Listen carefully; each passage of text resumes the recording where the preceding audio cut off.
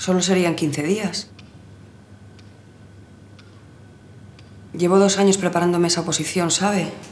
Un temario ni se lo imagina, como las páginas amarillas de Gordo. El procedimiento administrativo local, las fuentes del derecho público. Tuve que apuntarme a una academia y dejé de trabajar para poder estudiar a tiempo completo. Y vivo de mis padres y de mi novio. Eso es lo peor. Con 32 años tener que ir con mi madre a comprarme ropa como si fuera una niña pequeña. O que me sigan regalando dinero en mi cumpleaños y en Navidad. Que mi novio me pague los cafés o el cine cada vez que salimos de casa. He intentado conseguir una segunda convocatoria, pero mi caso no se contempla y estuve con un sindicato recogiendo firmas, pero nada. Y claro, yo veo a mis amigos que, que tienen su vida más o menos resuelta, sus trabajos, y yo pues... Si encima pierdo la oportunidad de hacer ese examen, serán dos años perdidos del todo. No sé, como...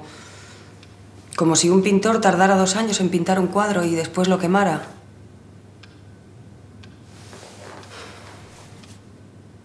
Además, si no puedo hacer ahora ese examen, igual tengo que esperar dos años más.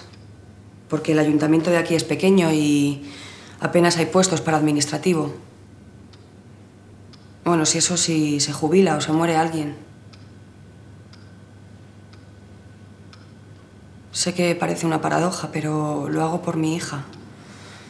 ¿Cómo voy a resolverle la vida a mi niña si la mía todavía está en el aire? Por eso necesito pedirle esos 15 días a cambio de un puesto de trabajo fijo. Dos semanas a cambio de, de una vida mejor. ¿Cree que soy una mala madre ya antes de serlo?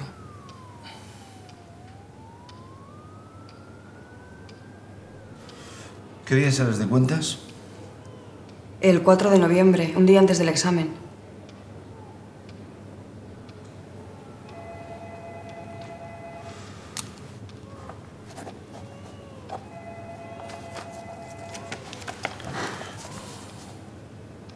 Si quiere podemos arreglar una cesárea para el 21 de octubre. Muchísimas gracias. ¿No hay de qué? Te entiendo. Yo estuve de interino muchos años. Ahora será Libra. ¿Cómo?